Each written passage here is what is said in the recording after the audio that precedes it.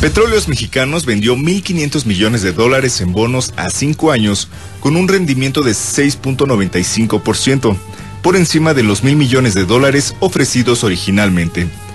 Fitch Ratings asignó una calificación de W negativo a la nueva emisión de Pemex. De acuerdo con la agencia calificadora, Pemex refleja el continuo deterioro de perfil crediticio independiente derivado de su carga fiscal, el alto apalancamiento, el aumento de los costos de extracción por barril y las altas necesidades de inversión para mantener la producción y reponer las reservas.